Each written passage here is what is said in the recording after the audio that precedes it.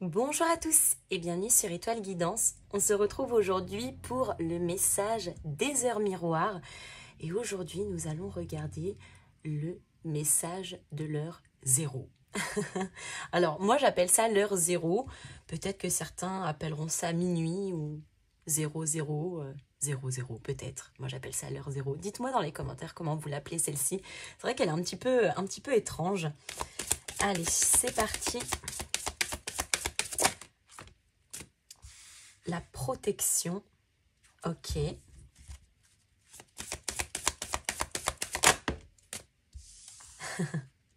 la réalisation.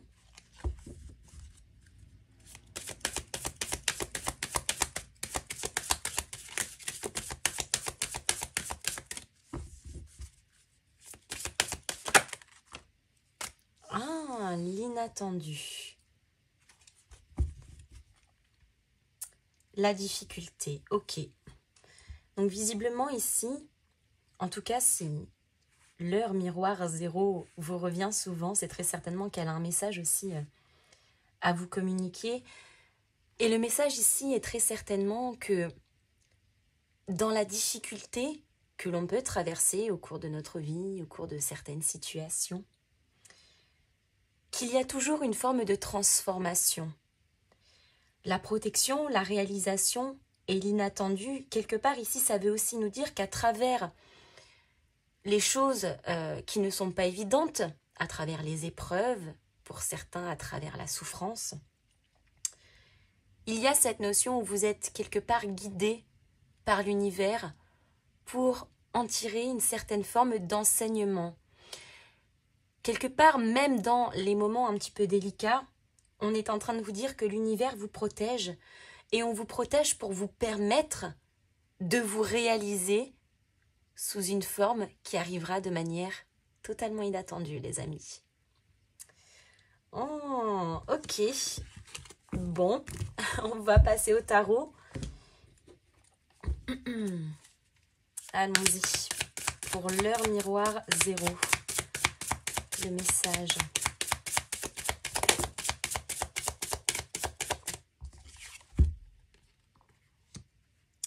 4 de denier.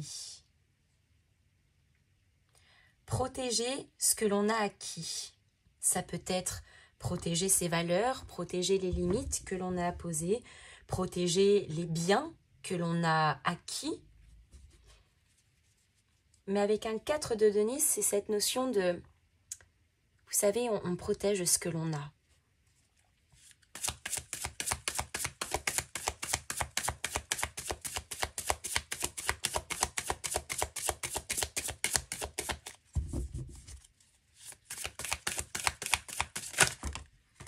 Oh, il y en a beaucoup trop. beaucoup trop.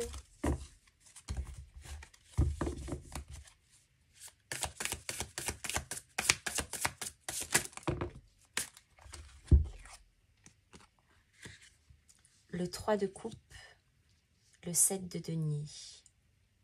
Ah, alors là, on pourrait nous parler de protéger ses enfants, de protéger la construction familiale que l'on est en train de mettre en place, peut-être parce qu'on a des difficultés au sein d'un couple, par exemple. Mais c'est cette notion de... Ouais, pour moi ici, euh, représenté par ce 3 de coupe, euh, on, protège les... ses enfants. Ses enfants, ou en tout cas, c'est quelque chose auquel on tient très fort qui euh, pourrait s'apparenter par exemple, un lien familial, ça peut être un ami que l'on protège parce que c'est un ami que l'on considère comme notre famille, ça peut être euh, un animal domestique, ça peut être aussi avec un 3 de coupe et ce 4 de denier, euh, une situation euh, que l'on a mis du temps à mettre en place et que l'on souhaite absolument préserver. Absolument préserver pour continuer de faire grandir la relation, la situation, pour continuer en fait de faire fructifier ce que l'on protège ici.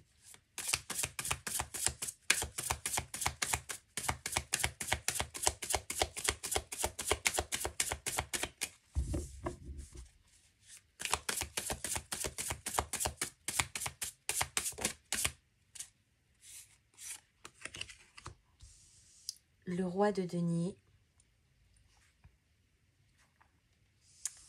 le 7 de bâton. Alors, je ne sais pas ce que vous protégez, les amis. Pour moi, il y a quand même une histoire de matériel là-dedans. Alors, peut-être que c'est une situation euh, matérielle ou financière aussi que l'on protège. Peut-être aussi en lien avec les enfants, de manière à, ce qu'ils ne manquent de rien. Financièrement parlant, bien évidemment. Euh, mais avec un set de bâtons, il y a un retour à l'alignement. On prend totalement ici sa part de responsabilité vis-à-vis d'une situation que l'on souhaite absolument préserver, qu'on essaye tant bien que mal visiblement de faire fructifier. Ça peut être une carrière professionnelle euh, pour avoir peut-être par exemple plus de revenus, pour mettre bien votre famille, etc. Mais en tout cas avec un set de bâtons, c'est le retour à une forme d'équilibre après une victoire, après un succès. Donc, si certains ont des soucis euh, au niveau matériel ou financier, c'est quelque chose qui est en train de se débloquer, quelque chose qui est en tout cas en train de s'arranger.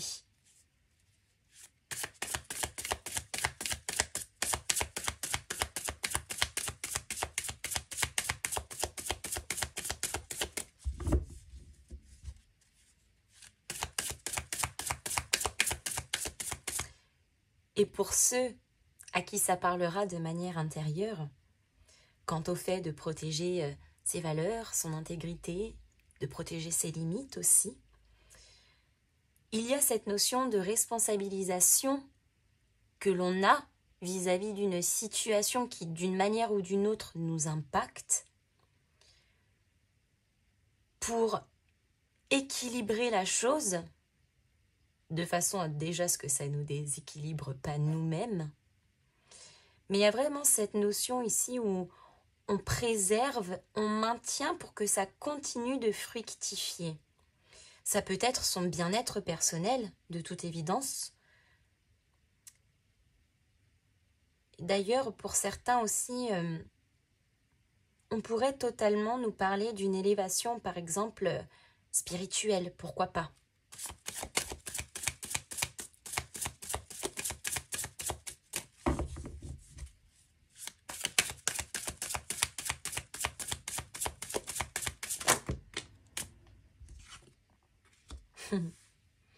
Le 4 de denier avec tempérance. On nous demande de ne pas être trop extrême. On nous demande ici d'être euh, précautionneux. Est-ce que ça se dit? Bref, de prendre les choses avec précaution, disons plutôt ça comme ça. de prendre les choses avec précaution, peut-être aussi parfois de mettre un petit peu d'eau dans son vin, de jongler peut-être aussi entre une situation, mais on vous demande surtout ici de ne pas euh, être dans quelque chose de radical, d'exacerbé ou effectivement d'extrême. De garder quelque part une fluidité au niveau de ce que l'on a acquéri. Ça se dit acquéri Au niveau de ce que l'on a acquis. Ouais, bon, vous m'aurez compris. Comme d'hab, les amis, on ne change pas une équipe qui gagne avec le 3 de coupe et le 2 de coupe. Ah ouais, d'accord. Ok.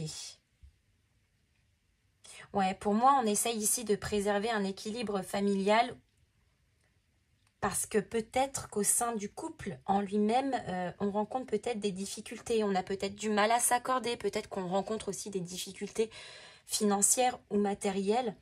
Mais il y a cette notion où chacun, quelque part, prend sa part de responsabilité avec les conséquences que ça euh, répercute pour pouvoir maintenir un équilibre général. Un 2 de couple, un 3 de couple, on nous, parle aussi bien évidemment du couple en lui-même, mais des enfants qui peut y avoir aussi au sein de ce couple-là.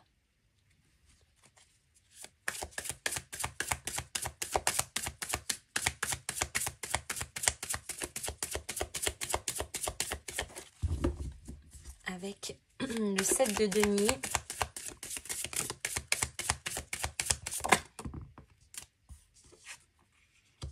le 9 de bâton. Ouais, on est en train de prendre conscience que protéger ce que l'on a, ce que l'on possède, c'est bien. mais qu'à un moment donné, il va aussi falloir ouvrir les portes de ce qui pourrait se construire d'autant plus. Ça peut être, par exemple, pour certains, euh, mais encore une fois, les amis, ce n'est qu'un exemple, le fait de quitter une carrière professionnelle parce que financièrement, ça ne rapporte pas assez pour votre stabilité, pour votre stabilité financière, pour euh, celle de vos enfants, si par exemple il y a nécessité de faire des études, etc. C'est de se dire, ok, j'aimerais bien protéger euh, ce que j'ai, ce que j'ai acquis, ce que j'ai fait, etc. Mais là, bah, les études des enfants, par exemple, vont me demander d'investir beaucoup plus euh, de ressources. Et pour ce faire, eh il va peut-être falloir aussi que euh, je me réoriente vers quelque chose où, je gagnerai mieux ma vie, par exemple. Mais encore une fois, les amis, ce n'est qu'un exemple. C'est vraiment pour imager l'énergie. Mais il y a cette notion, en tout cas, de d'ouvrir finalement les portes de ce que l'on protège, peut-être de manière d'ailleurs un petit peu butée hein, au début, pour voir fructifier quelque chose de nouveau, pour se diriger vers quelque chose qui sera plus abondant.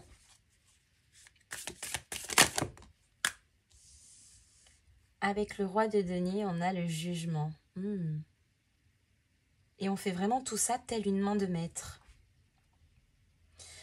prise de responsabilité de manière concrète, de manière pragmatique, dans, dans un ordre en fait, bien précis, un ordre qu'on suit à la lettre,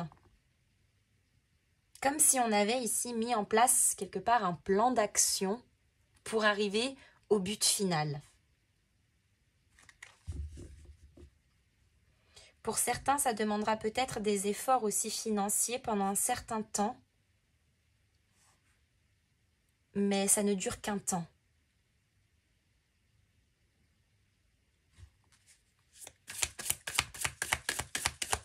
Ça arrive à tout le monde, les amis. Hein. Parfois, euh, on va pas se mentir. Je pense que, surtout au jour d'aujourd'hui, personne ne vit dans le monde à oui oui. Et je pense que il y a peu de monde euh, qui réellement, mais quand je dis réellement, sont pétés d'oseille sur les comptes en banque on va pas se mentir, on vit tous des temps compliqués et on passe tous, eh bien, j'ai envie de dire malheureusement et heureusement aussi d'une certaine manière parce que ça nous enseigne aussi euh, la, valeur de, de l'argent, de l'investissement, le fait de, ne pas dépenser peut-être à tout va, euh, de dépenser correctement, à juste titre, etc. Mais, euh, mais rassurez-vous les amis, on, fait tous face à un moment ou à un autre à, a des difficultés et c'est ok, c'est absolument ok. C'est vrai que l'argent, je trouve qu'aujourd'hui, ça devient un tabou lorsqu'on parle de salaire, lorsqu'on parle de situation financière, etc. Alors que ça ne devrait pas être un tabou, en tout cas selon moi, surtout lorsque l'on a besoin d'aide. Parce qu'encore une fois, ça arrive à tout le monde. Parfois, bah voilà, on se retrouve dans des situations qui sont pas évidentes, pour vous faire une petite confession, les amis, je me suis retrouvée aussi dans une situation délicate il y a quelques années parce que j'ai tout quitté, je me suis retrouvée sans rien, j'ai tout recommencé à zéro. Bref, le compte en banque aussi était à zéro, donc, euh, donc voilà, mais... Euh, mais je trouve que ça devient un tabou où aujourd'hui, il faut surtout pas parler d'argent, il faut surtout pas dire qu'on est en difficulté, il faut surtout pas, euh, etc. Mais encore une fois, les amis, c'est totalement ok. Ça arrive à tout le monde. Et ce qu'il faut se dire ici, c'est que vous savez, l'argent, ça rentre, ça sort, ça vient, ça part. On peut être riche aujourd'hui et se retrouver pauvre demain, et on peut être pauvre aujourd'hui et se retrouver riche demain. L'argent n'est absolument pas synonyme ni de carrière professionnelle, ni d'importance dans la société, ni d'importance aux yeux de qui que ce soit d'ailleurs, si ce n'est qu'au billet vert. Mais, euh, mais je, trouve ça dommage que ça devienne un tabou aujourd'hui et que surtout les, les, gens de manière générale euh, en parlent de manière très négative c'est-à-dire que quand on a beaucoup d'argent, de toute façon, on est mal vu. Et quand on n'a pas d'oseille, on est mal vu aussi. Donc en fait, euh, voilà. Donc, mais encore une fois, c'est ok. Ce qu'il faut se dire, c'est que ça rentre, ça sort. Et que là, c'est temporaire. On ira vers des temps meilleurs en tout cas.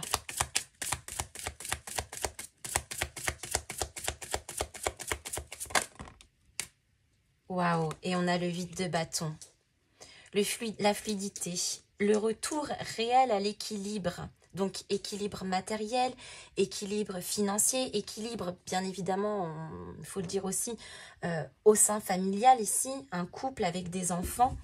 Euh, donc Ici, les choses sont en train de s'arranger. Ce n'est que passager, les amis. Alors, bien évidemment, lorsqu'on se retrouve dans la sauce, on a l'impression qu'on n'en sortira jamais et on ne sait jamais combien de temps ça va durer. Mais rassurez-vous, les galères, de toute façon, moi, ce que je me dis, vous savez, c'est que de toute façon, les galères, à un moment donné ou à un autre, ça s'arrête. C'est-à-dire que le jour où on va crever, euh, bah, il y aura plus de galères, quoi. Donc, euh, alors oui, dit comme ça, c'est étrange, je vous l'accorde. Mais, euh, mais les galères, c'est que temporaire. Et ça arrive à tout le monde. Je dis bien à tout le monde. Il y en a pour qui c'est financier, il y en a pour d'autres c'est familial, il y en a pour d'autres c'est professionnel, pour d'autres, on, pourrait tabler sur tous les domaines. Là, en l'occurrence, ça a trait plutôt à l'aspect matériel et financier, mais encore une fois, les amis, c'est OK. Le diable. Ah Alors, c'est drôle parce que il faut quand même notifier que euh, si on a le jugement aussi, mais on a quand même tempérance et le diable. Tempérance, c'est le, signe du Capricorne, euh, du Sagittaire, pardon. Et le Sagittaire, c'est un, c'est un esprit qui est très impulsif. Donc, on pourrait, par exemple, nous parler de quelqu'un qui, dans le passé, a été, par exemple, un petit peu dépensier, qui n'a pas forcément fait attention à ses finances. Et aujourd'hui, bon, on se dit, il va falloir être un petit peu plus vigilant. Le diable est représenté par le signe du Capricorne dans le tarot. Donc ça nous demande d'être, d'avoir un certain pragmatisme, de rester assez terre à terre, peut-être contrairement à ce signe de, la tempérance, de, de, faire attention à ses économies, de faire attention à ce que l'on investit, de faire attention à ce que l'on met aussi de côté pour pouvoir prévoir peut-être des projets, peut-être un investissement futur, ça peut être des vacances, encore une fois, ça peut être les études des enfants, pourquoi pas. Mais euh, ça, nous demande de rester vraiment euh, sur l'aspect pratique. Ah, et on a l'empereur. Vous allez finir par gérer ça d'une main de maître, les amis. Il n'y a pas d'autre mot. Ok, on va prendre une dernière carte pour clôturer.